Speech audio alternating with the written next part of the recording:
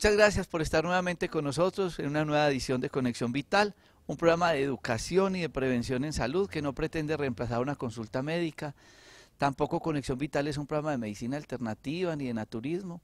Es un programa de prevención en salud, donde pasan todas las especialidades y queremos que todos ustedes vean esto como un apoyo para la salud. Ustedes nos pueden ver en Telepacífico todos los días a las 11 de la mañana los, los miércoles 11 y 30. Recuerden que Telepacífico también está en DirecTV. Y ustedes nos pueden ver en Telecafé a las 5 de la mañana y a las 7 de la noche. Los jueves y viernes es a las 7 y 30 y la remisión a las 5 y media de la mañana. ¿Qué queremos con este espacio? Hacer educación en salud con un equipo grande de profesionales de la salud. Y adicionalmente, pues tratar de desarrollar temas que sean preventivos. Eso sí queremos con este espacio, hacer prevención. Y yo quiero tocar hoy un tema que es muy necesario para todos ustedes si quieren sentirse bien, si quieren mejorar los procesos de la enfermedad y hacerlo desde sus casas a un costo de nada. Y es el ayuno. Nosotros tenemos que ser más observadores con el reino animal. Porque los animales se enferman y ellos entran en ayuno. Los animales se enferman y ellos entran en un proceso de receso, de descanso.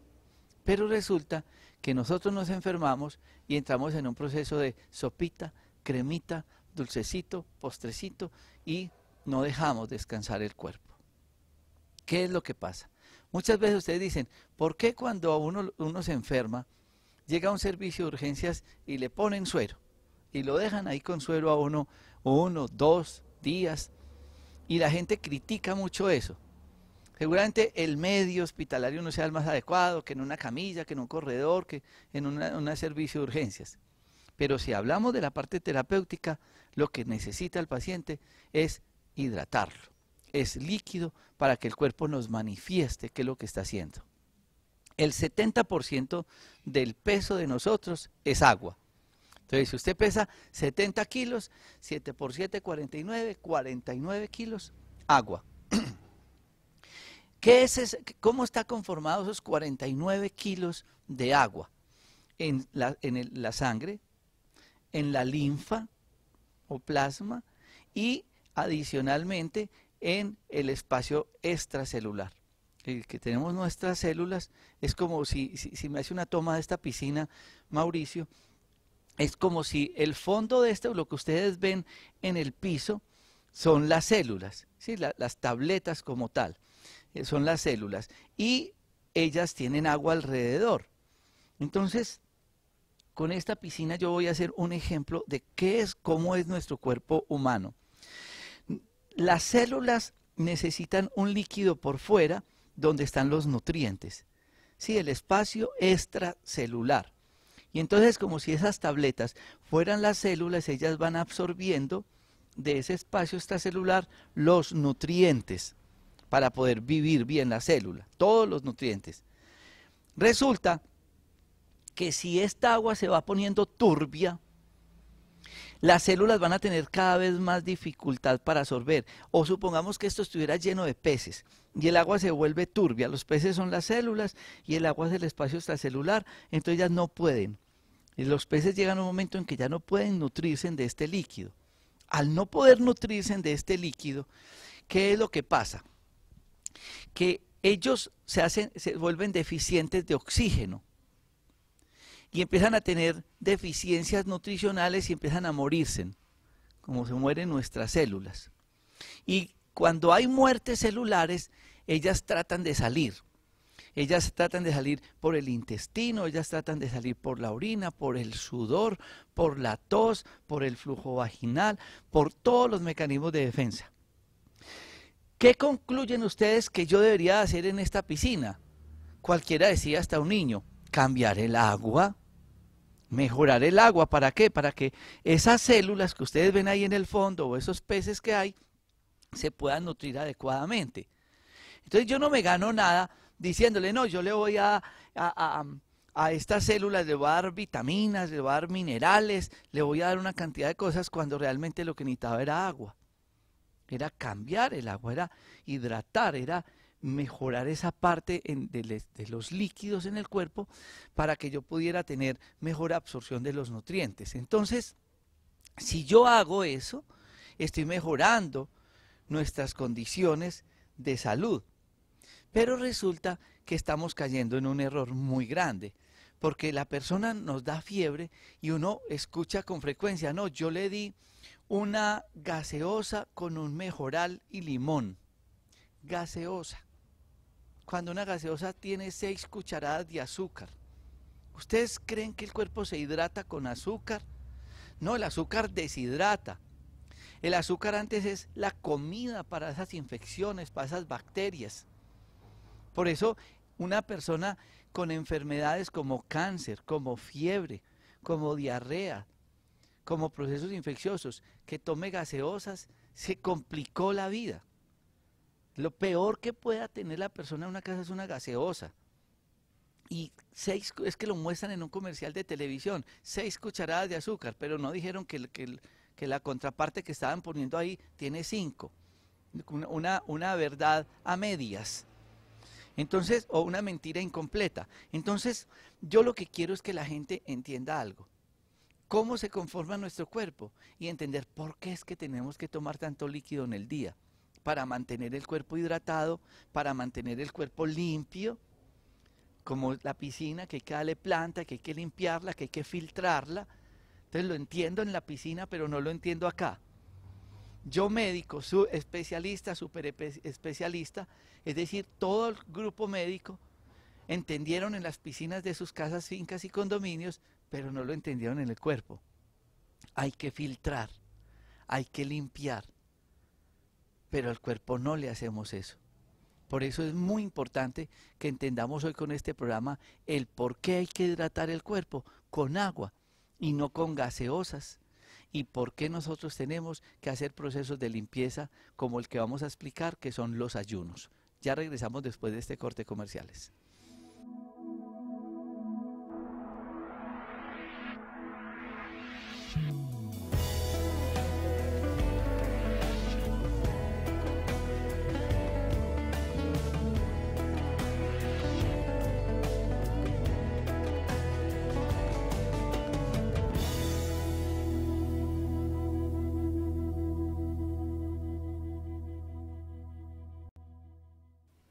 Si observamos el reino animal, nosotros tendríamos que mirar por qué cuando un perro se enferma o está indispuesto, come pasto. O por qué una vaca y un caballo entran en ayuno. Y uno diría, no es lógico que nosotros hiciéramos esto. No que comamos pasto, pero sí comer frutas.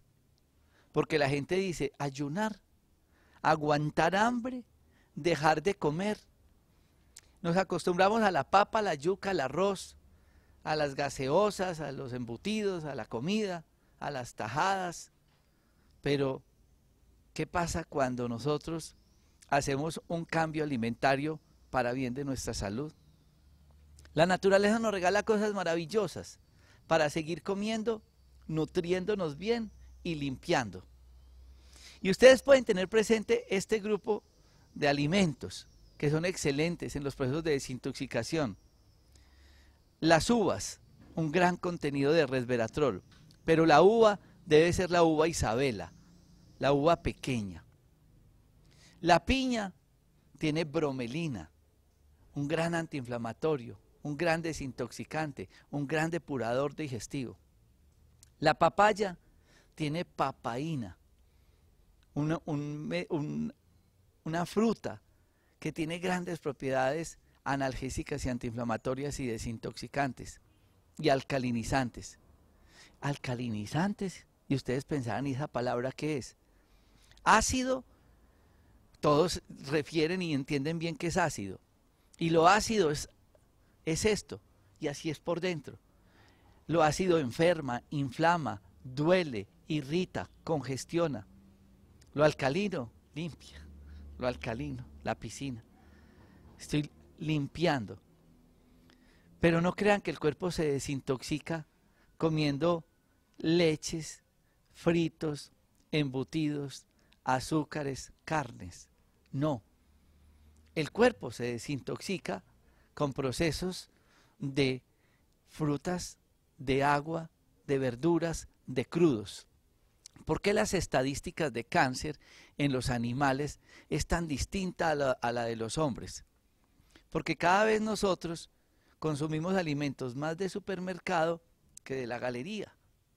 Entonces, en vez de comerme estas frutas, me la tomo en un juguito de caja, que no, no tiene nada de jugo. Ya no es el tomate, sino la salsa de tomate. Y así toda la gama de alimentos. Por eso es muy importante que nosotros entendamos que cuando aparece la enfermedad es porque ya el cuerpo está tan congestionado, tan ácido, que le está diciendo, ya, descanse, pare, déjeme descansar, coma otro tipo de alimentos. Y si ustedes lo entendieran así, simplemente consumiendo fruta durante todo un día, el cuerpo entra en alcalinidad, disminuye el dolor, la congestión, la irritación, la inflamación y mejoran los procesos patológicos. Yo estoy hablando de enfermedad, no, estoy hablando de todo el proceso irritativo del cuerpo y de la inflamación. Entonces lo que queremos es que la gente entienda que es fundamental el proceso del ayuno. Cuando yo tengo pacientes con hipertensión severa, cuando tengo pacientes con problemas de artritis, artrosis, lupus, fibromialgia, es decir, dolores, lo primero que yo hago con el paciente después de la terapia neural y de la consulta es decirle, va a consumir fruta uno o dos días. Y si el proceso es crónico, como los mencionados anteriormente, les digo, escojan un día a la semana. Y ese día consuman fruta. ¿Cuál fruta? La que quiera. Porque yo mencionaba las anteriores que son, digamos, las que más propiedades rápidas tienen en la desintoxicación. Pero si yo me pongo a analizar el tema de la frutoterapia, las frutas mejores son las que estén más baratas en el mercado. Cuando ustedes van y ven en los semáforos que están dando paquetes de frutas a mil pesos y salen de los supermercados y en los andenes hay paquetes de frutas a mil pesos, es porque está en cosecha, está en equilibrio en el universo, en la tierra, y es lo que llamamos en el campo, hay cosecha de tal fruta. Y esa es la que deberíamos de consumir también. Pero si hacemos esa rutina de consumir un día fruta a la semana en el proceso de enfermedad, con toda seguridad, la cantidad de medicamentos y la cantidad de consulta médica que tendrían que hacer cambia totalmente. Tengo pacientes hipertensos que decidieron comer un día a la semana uvas, isabelas, y han pasado de 10 medicamentos a 2. Y así con el dolor y con muchos procesos patológicos. De modo pues que yo invito a todos ustedes, independiente de la enfermedad que tengan, a escoger un día de la semana, hacer un ayuno de frutas para mantener el cuerpo desintoxicado. Ya regresamos después de este corte comerciales.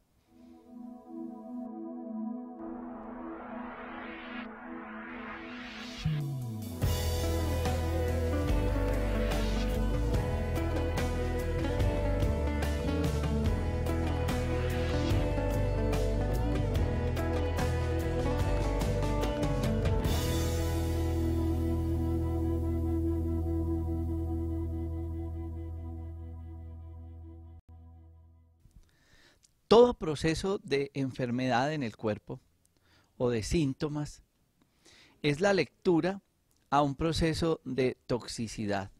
La enfermedad no llega gratis, porque hay personas que son tan, tan, eh, se enferman tan fácil de muchas cosas. Uno tendría que mirar en estas personas qué están comiendo, qué deporte están haciendo, cuánto sol están recibiendo. Básicamente, tres aspectos grandes de la enfermedad, con uno muy, muy importante, cómo está su estado emocional. Pero si todo ese es el contexto que nos lleva a la enfermedad, fácilmente podríamos decir que de igual manera, a través de una buena alimentación, de recibir sol, de deporte, nosotros podemos mejorar. Cuando hacemos deporte sudamos, estamos excretando, estamos eliminando. Tan es así que el sudor es un mecanismo de defensa también y una limpieza del cuerpo que mucha gente dice, yo no como ajo porque el sudor es fuerte. Realmente uno elimina hacia el exterior, pero es fundamental que nosotros lo interpretemos para bien de la salud. Por eso, quienes tengan la posibilidad del baño turco, que es mejor que el sauna, el baño turco va a ser procesos de limpieza y de drenaje y de desintoxicación. Siempre el baño turco tiene agua fría para no hacer calor y frío, que eso estimula los procesos de limpieza del cuerpo.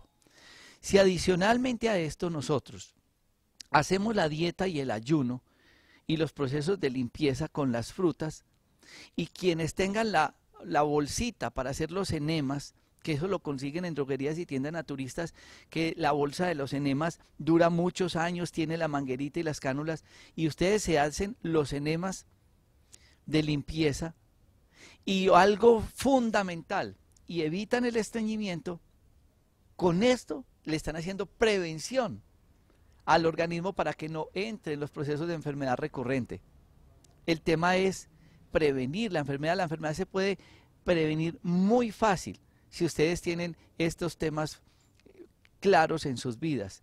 Adicionalmente, para estar bien de salud, ustedes deben de suspender alimentos como la leche, el queso, el yogur, el kumis, la leche en polvo, la leche lactosada, es decir, todos los derivados de la vaca.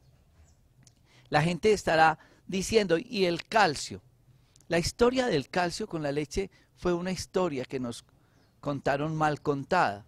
Porque si vamos a hablar de calcio en el cuerpo, este es un calcio muy grande, que da placas en las arterias, que da cálculos que el cuerpo no lo asimila bien. Tendríamos que hablar de calcios pequeños, porque el cuerpo necesita calcio, como el ajonjolí, por ejemplo. Pero es que no es el calcio solo, yo necesito el sol y la vitamina D. Entonces no me no hago nada tomando grandes cantidades de calcio si no tengo sol y ejercicio para activar la vitamina D, que es el carrito que transporta el calcio y lo pega del hueso. Entonces es muy importante que estos lácteos se los dejemos al género de las vacas.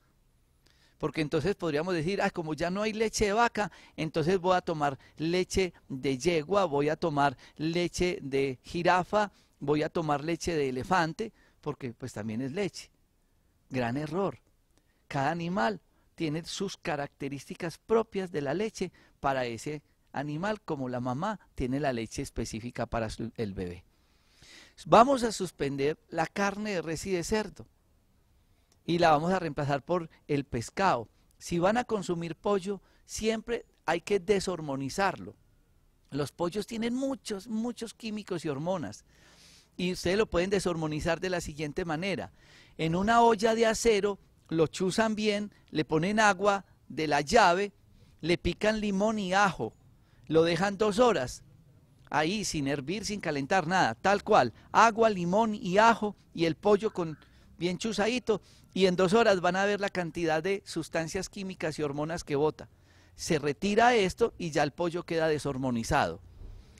El pescado, importante consumirlo, pero la carne de res y de cerdo no, el cuerpo en el proceso metabólico produce ácido araquidónico que inflama, que irrita, que da más dolor y por eso no lo debe consumir. Los fritos, tampoco. Los embutidos y enlatados, lo que vengan cocos y frascos, atún, sardina, salchicha, perro, jamón, mortadela, salchichón, no consuman esos alimentos. Y finalmente, los azúcares es el alimento de la infección, es el alimento del cáncer. Nosotros no podemos consumir este tipo de azúcares porque nos están deteriorando gaseosas, pasteles, galletas, bombones, chocolatinas, helados, chicles, todo eso. Mucha gente dirá, ¿y entonces qué vamos a comer? Se nos olvidó el frijol, la lenteja, la bichuela, el garbanzo, el blanquillo, se nos olvidó una gran cantidad de alimentos, el huevo tibio que es excelente, las verduras, las frutas, tantas cosas que podrían reemplazar esto y una buena cantidad de líquido. Con eso cambiaríamos totalmente el pronóstico de la enfermedad. Muchas gracias por estar con nosotros. En Facebook pueden buscar medicamentos, doctor Rojas, donde diario estoy escribiendo artículos. En YouTube están grabados todos estos programas buscando Jorge Enrique Rojas Quiseno. Y que nos sigan, por favor, cada día en Telecafé a las 5 de la mañana y 7 de la noche y en Telepacífico a las 11 de la mañana. Gracias por estar con nosotros.